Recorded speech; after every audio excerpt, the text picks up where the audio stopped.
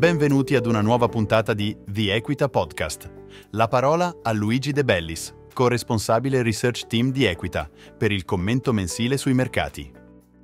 Il mese di agosto è stato caratterizzato da un aumento della volatilità, con segnali contrastanti dei dati che hanno lasciato gli investitori incerti su quale scenario macro prepararsi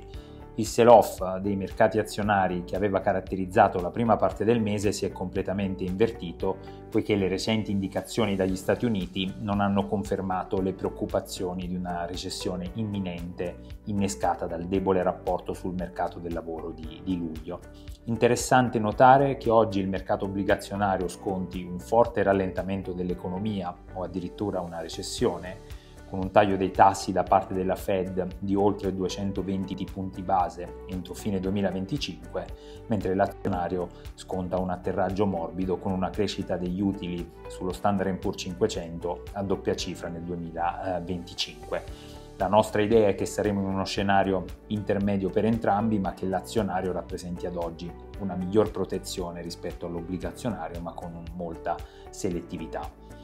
Agosto si è chiuso quindi in territorio positivo per i mercati azionari globali con un aumento del 3%,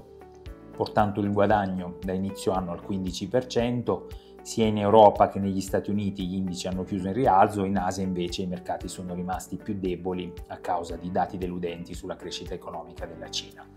Per quanto riguarda l'Italia, gli indici sono stati leggermente positivi, lo spread è rimasto sostanzialmente stabile a 138 punti base in attesa dell'invio alla Commissione europea del programma di bilancio pubblico di medio termine entro il 20 di settembre.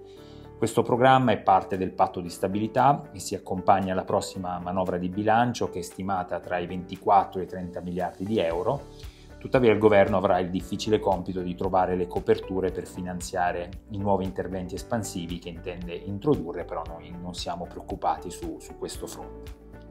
La correzione iniziale di agosto era stata innescata da diversi fattori, tra cui dati macro americani più deboli del previsto, ci sono state preoccupazioni per i rischi geopolitici e un eccessivo posizionamento su alcuni settori come l'intelligenza artificiale e la tecnologia, ma soprattutto abbiamo visto la liquidazione delle operazioni di carry trade sullo yen innescate dal forte movimento della valuta. Eh, successivamente negli Stati Uniti l'inflazione è aumentata meno del previsto per il quarto mese consecutivo, mentre alcuni dati macro di agosto hanno mostrato un leggero miglioramento rispetto a luglio. Infine il tono accomodante del presidente Powell a Jackson Hole ha rafforzato la convinzione che la Fed effettuerà il suo primo taglio dei tassi nella riunione di, di settembre. Sul fronte delle elezioni americane i sondaggi attuali mostrano che la Harris avrebbe un vantaggio di qualche punto percentuale su Trump, ma una data cruciale sarà il dibattito del, del 10 settembre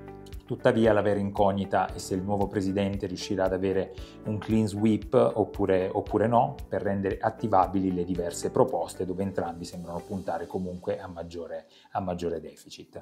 In sintesi, i mercati stanno affrontando un periodo di transizione con l'attenzione che si sposta dall'inflazione alla crescita economica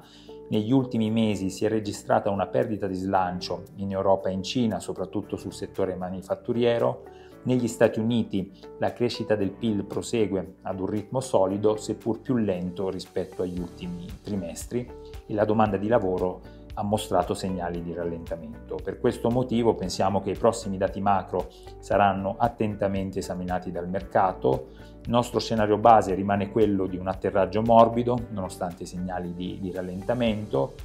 Inoltre pensiamo che l'inizio del ciclo espansivo da parte delle banche centrali senza un significativo deterioramento del mercato del lavoro e dell'economia rappresenti alla fine un elemento positivo per i mercati, soprattutto per i titoli di, di qualità. Considerando però il posizionamento degli investitori e i recenti indicatori macro non brillanti, la nostra idea è che bisogna continuare ad essere selettivi nelle scelte di investimento.